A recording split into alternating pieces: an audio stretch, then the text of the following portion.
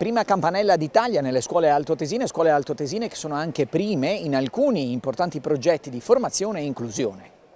Siamo i primi oggi a iniziare il mondo della scuola, 89.000 sono gli studenti altoatesini che al suono della campanella oggi hanno accolto eh, i docenti. Un inizio d'anno che è molto interessante e molto ricco anche per alcuni aspetti e novità. Dobbiamo eh, fare qualcosa di più e lo facciamo attraverso alcune convenzioni, per esempio con la Croce Rossa, ne andiamo orgogliosi per fare in modo che le tecniche di primo soccorso e di utilizzo del defibrillatore vengano messe a disposizione di più studenti possibili per creare creare una società migliore, ma anche sempre con loro lo sviluppo delle um, strategie e studi sullo stile di vita sano anche in termini di alimentazione e di sport, cosa che riprendiamo con la collaborazione con il Banco Alimentare.